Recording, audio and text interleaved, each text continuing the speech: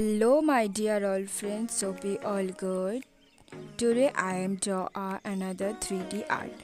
This is 3D folding paper art. First of all take a 2B pencil and draw your any favorite cartoon character. He is lying on the paper. I am showing that the shading looks like when the paper is folded. So please watch this video till the end.